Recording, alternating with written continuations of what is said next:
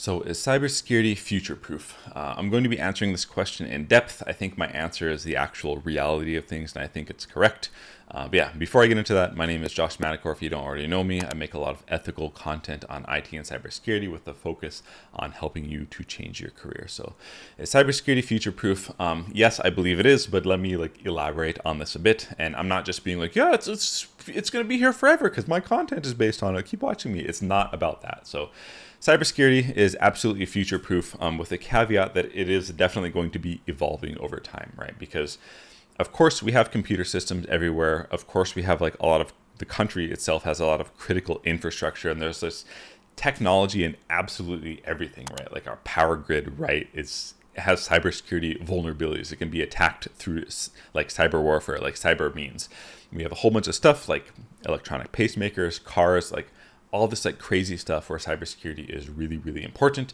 If it gets compromised people are going to die. And like the whole reason cybersecurity exists is both to prevent businesses from losing money and prevent the loss of human life you know depending on what the thing is that could get compromised. Like i said um, the the landscape or, or like you know uh, the different vulnerabilities and the different stuff that has tech is evolving over time. So that's something that we have to stay up with in terms of you know being professionals and being able to protect protect stuff. But if you're considering like doing a cybersecurity degree or getting security plus, like all of those things serve as like a really good baseline. And the baseline for cybersecurity doesn't really change, right? If you think about the CIA triad, if you crack open like a CompTIA Security Plus book. By the way, we have a whole bunch of free practice questions for that and many other exams. But if you crack open a Security Plus textbooks, the first thing that you're probably going to see is the CIA triad, which is confidentiality, integrity, and availability. And those are like the cornerstones of cybersecurity. Everything else, like all this other crazy stuff like AI and machine learning and like all these sophisticated cyber attacks, they all like they all like build on top of the CIA triad. The CIA triad is how you defend against all of those things. And that that doesn't really change. This just kind of the means of defense change. So if you go and get like Security Plus or you go and get a cybersecurity degree or something like that, it's still definitely going to be relevant, right? It's not like oh, like all the cybersecurity jobs are filled. The the the discipline went away. It's not going to happen, right? Because we utilize technology everywhere, and so much crazy cyber warfare is going on that like even I don't know about. We don't know about the crazy stuff that goes on behind the scenes. Like if you're interested in getting like a peek behind the curtain, I, I definitely recommend watching Darknet Diaries. He like really dives into like all those like crazy stuff that we wouldn't normally know about, right? A lot of crazy stuff goes on.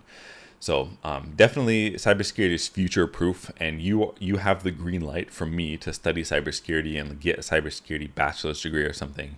Because um, at the very least, you're going to come out of that with a really strong baseline, and then you know do your portfolio employability framework and get really good and get a job. And then once you start working, you're going to kind of learn those nuances for whatever your field is.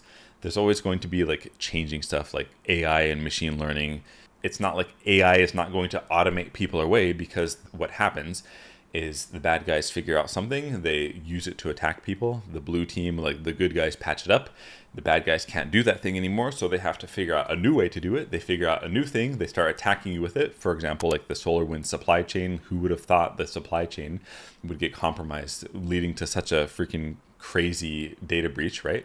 They come up with a new thing, they attack the supply chain the the good guys come up with a way to defend it. Like NIST started defining um, things for supply chain um, controls, like to defend the supply chain.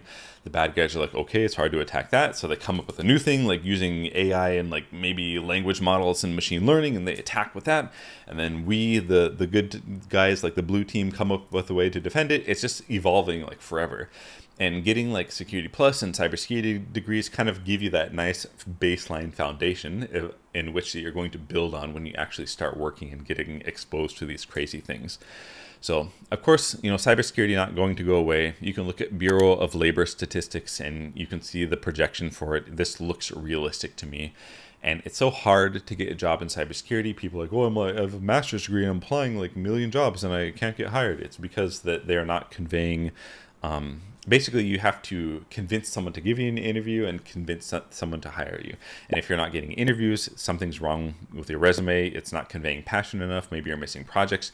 Maybe you're missing experience. You can get experience by you can even start your own company, make a bunch of cybersecurity content, make it tangible, make a portfolio, put it on your resume. This is infinitely better than having no experience at all. My cybersecurity course has like an internship component where you can get, put internship experience on your resume people companies contact me and I, I give references so many times to people they get hired from that you can you can get really creative with experience um, in order to you know distinguish yourself from your peers and then get that first job. So it's cybersecurity it is, it is future proof as much as healthcare is future proof but cybersecurity evolves faster than healthcare does. You just have to get a nice baseline foundation distinguish yourself from your peers convince someone to hire you, and then you learn the nuances of the field from there, and then you're essentially good to go. Again, I highly recommend watching Darknet Diaries. Um, you can listen to CyberWire daily as well to get like a good sense for what's going on in the field. Definitely check those out. And if you want some certifications, me and my team built a whole bunch of practice exams for basically all of the CompTIAs like A plus Network Security Plus, CISSP, ITIL, we're building one for Pentest Plus right now, and then we are we're essentially going to build out all the certifications that WGU requires for their degrees. So those are 100% free. Check those out, and yeah, best of luck.